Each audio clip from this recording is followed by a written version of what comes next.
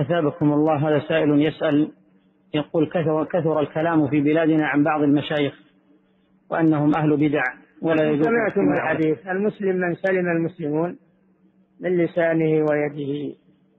فكف لسانك عن الناس ولا سيما العلماء وطلبة العلم. احفظ لسانك. نعم.